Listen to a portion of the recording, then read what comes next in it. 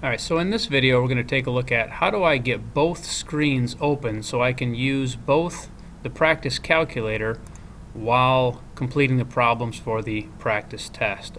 First thing I need to do is I need to drag those into separate windows and I do that by just simply dragging the tab, either tab, dragging the tab down and it will create its own separate window. So I'm going to drag this practice calculator test into its own separate window and you'll see that I now have two windows open.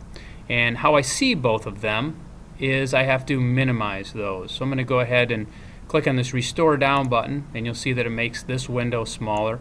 And I'm going to do the same thing for my practice test window as well. I'm going to restore that one down. So I now have two separate windows that I can then drag to whatever sizes that I need them. So if I want my practice test, I can resize that window to give me whatever size I need and I'm going to drag my practice test window to whatever size that needs. That way I can bounce back and forth without these windows overlapping or being on top of one another. So I can make those windows be as big as I need to to be able to bounce back and forth. That's how I can create these two separate windows so I can use two websites at the same time without having to continually go back and forth